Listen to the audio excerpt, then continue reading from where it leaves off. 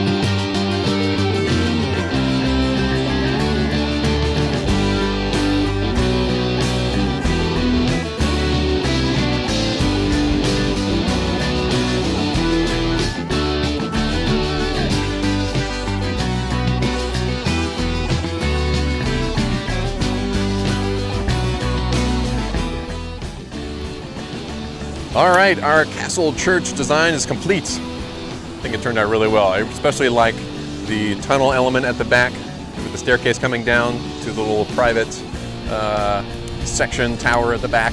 Hope you enjoyed what we are doing here. Click subscribe if you haven't already and like our page. Check us out also on social media, Instagram, Facebook, and Twitter. Happy beaching out there, everyone. Take care.